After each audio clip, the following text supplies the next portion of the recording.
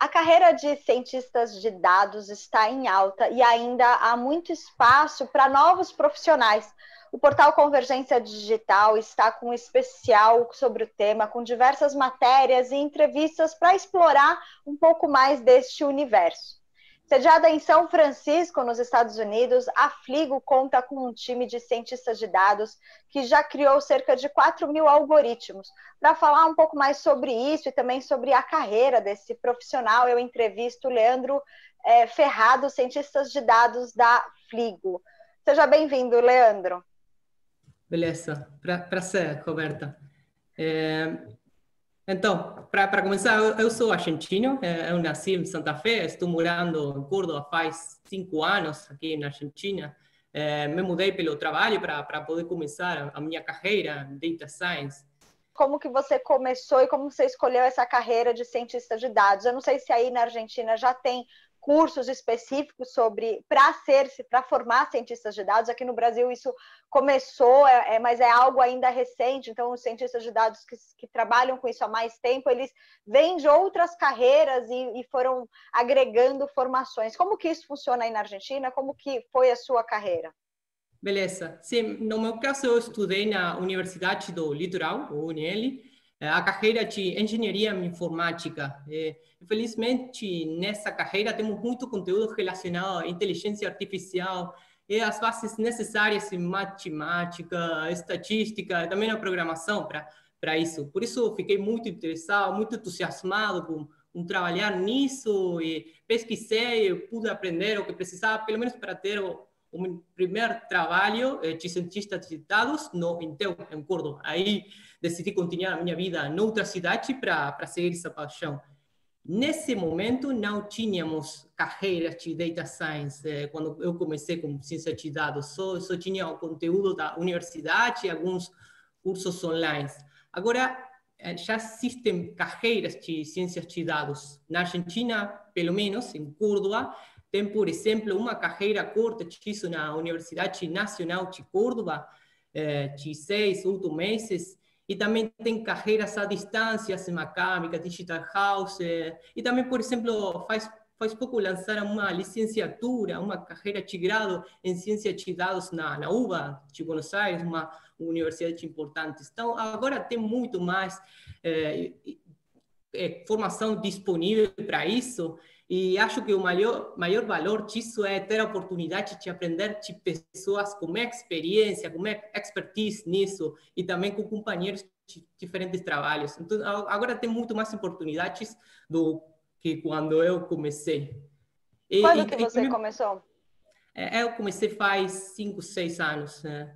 É, uma é, é, é, é uma carreira que, que agora, né, a gente começa. O que, que você acha que na na sua opinião, forma um cientista de dados? Eu tenho escutado muito de alguém que seja multidisciplinar, que conheça de negócio, que conheça de tecnologia. Qual que é, na sua visão, é, esse papel, assim, o que é fundamental esse profissional ter?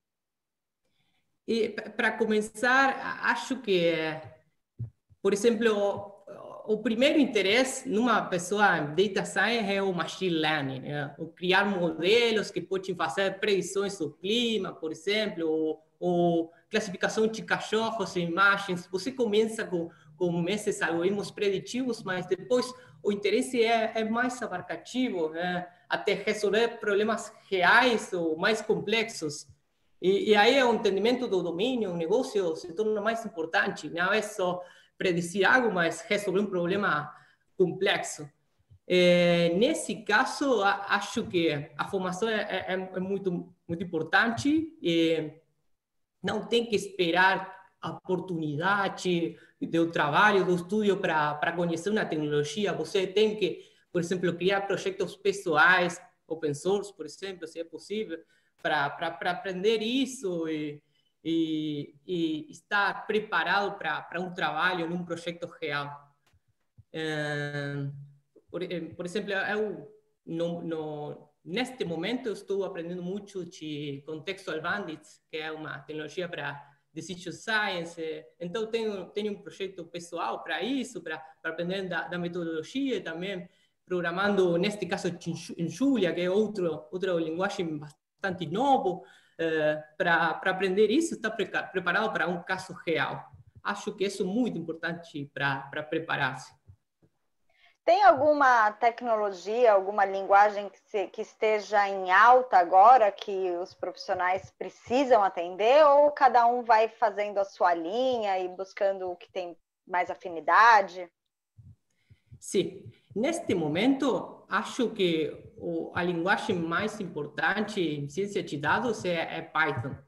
Tem tá. muitas eh, tecnologias eh, baseadas no Python, então tem, tem tudo ecossistema necessário para começar um projeto. Por exemplo, Pandas, Spark para, o processamento de dados, tem Matplotlib, o Plotly para visualização, tem Jupyter Notebook para, fazer o análise, tem, tem muito nisso. Mas também acho, pelo menos, que eh, não tem que ter medo de investir em tecnologias emergentes. Por exemplo, eu agora estou investindo em Julia, que é outra linguagem que promete muito, então, isso de sair da, da zona de conforto, de provar, porque a tecnologia está mudando todo o tempo, então, provar trazer novas tecnologias e ferramentas dá valor para uma empresa, para um trabalho. É, é importante tentar isso. Uma coisa que eu escutei bastante também é a separação entre o engenheiro de dados e os cientistas de dados. Isso vocês observam também, ou numa empresa menor, numa esse cientista acaba fazendo tudo? E qual a importância desses dois profissionais, né? Sim. Que cada, como cada um age né, nesse tratamento do dado? Sim, no meu caso, eu acho que o data engineer, o engenheiro de dados, tem que preparar tudo uh, para que todos os dados estejam disponíveis, acessíveis e prontos para o análise. Tem que ter tudo preparado, optimizado, infraestrutura disponível para que uh, o análise e processamento fique bem. E depois tem o data scientist que toma essa informação para o análise e criar as soluções, os modelos preditivos. Essa interação é muito importante. Depois tem outros roles, como DevOps, ou, ou os developers para fazer infraestrutura necessária para criar uma solução, mas esses roles, pelo menos, é preparar os dados e fazer algo, análises analíticas com esses dados nestes dois roles. E falando um pouquinho da, da Fligo, né? É, aqui na abertura eu falei dos algoritmos, como que é o trabalho, quantos cientistas de dados tem, como que é a equipe, como que vocês se dividem nisso para fazer essa criação. Queria que você contasse um pouquinho dessa experiência de trabalho, do dia a dia do cientista de dados. Sim, a ideia em geral é, quando começa o projeto, temos dois ou três meses para começar o projeto como cliente e mostrar resultados. Então, alocamos um, um time de data scientists e data engineers para isso e, e, temos um processo para para desenvolver esse projeto nesse tempo. Começamos com entendimento do negócio, contexto e definição do, do enfoque para criar a solução, depois a, o data engineering, é, o, o, preparação desses dados para a solução e depois temos o modelagem e a validação desse, dessa solução num cenário real. Então, com esse processo mais que temos o nosso framework está preparado, já tem casos já preparados para isso, podemos ajustar essas soluções em pouco tempo e, e criar novas soluções é, é, importante ter esse processo, tudo alinhado nisso e ter as ferramentas já prontas para poder iterar em pouco tempo. E é, é uma pessoa que faz ou vocês têm uma divisão no time, assim? Então, quando um cientista de dados ele vai entrar numa companhia, o que, que ele espera, assim? Então, ele vai ficar responsável por uma determinada área ou é, ele, vocês conseguem trabalhar em, em áreas multidisciplinares?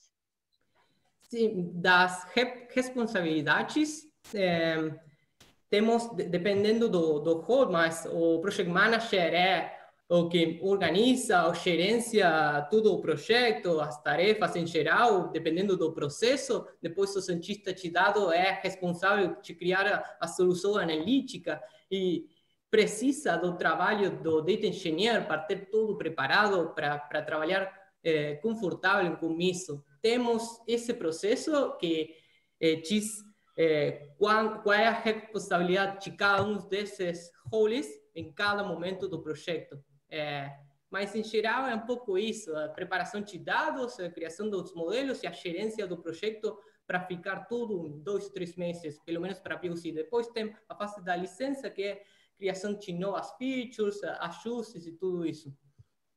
E qual a importância dos cientistas de dados conhecer o mercado, a empresa e o setor de atuação? Isso você acaba, você acha que é um impeditivo ou é um diferencial para esse profissional?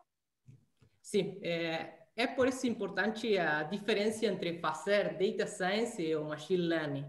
É, machine learning você só trabalha com uns dados que chegam e tem que ter o melhor modelo para esses dados, mas num, num cenário real, você tem que preparar tudo, tem, tem que controlar a qualidade dos dados, controlar, eh, entender o contexto do, do negócio nesses dados, eh, encontrar inconsistências ou problemas e gerenciar isso. Então, tem que entender tudo o, o que se precisa para poder criar uma solução que faz sentido para esse objetivo. É, por isso é muito, muito, muito importante ter tempo para tarefas como limpeza de dados, avaliação do, do contexto de negócio, porque depois vai ser um risco muito alto, em problemas de qualidade de dados, que é muito frequente. Eu falei disso numa, num evento no ano passado, a Pai Data, na Argentina, e falava sobre o dilema 80-20, que em projetos de data science é muito menor o tempo destinado a fazer analíticas que em outras coisas. Eh, o maior esforço é destinado a coisas como entender o contexto de negócios, coletar, processar as fases de dados, a qualidade de dados. Então, muitas, tarefas que não é criar um modelo, mas tudo o que precisa para poder chegar a esse momento. Legal. É, a gente está caminhando para o fim da entrevista. Eu queria que você, se pudesse, compartilhar uma dica, uma recomendação para o pro profissional que esteja querendo ingressar nessa, nessa carreira ou que esteja querendo mudar de carreira e já vem da área de tecnologia, mas para ingressar no cientista de dados. Qual que é a sua dica? Sim, acho que o que eu falei sobre não esperar ter um momento para aprender uma nova tecnologia ou técnica, tem que criar projetos pessoais. É, isso de ter, por exemplo, projetos em GitHub, é, open source, faz que você possa é, aprender realmente alguma coisa e depois usar isso no trabalho, atrair o trabalho com isso. A idade, por exemplo, também no meu caso, acho que a idade é um número. Felizmente, no meu trabalho, eu, eu trabalho no mesmo equipo com pessoas de 40 anos e de 22 anos no mesmo equipo, não há diferença de trato, então não tem que ter medo disso. E, e pelo menos para um perfil júnior, acho que é o mais valioso é trazer novas tecnologias e ferramentas. E, se você tem um cavalo de batalha, no meu caso foi a participar quando eu comecei, você já tem uma, uma vantagem é, para começar nessa carreira. Então, investir nisso é, é importante.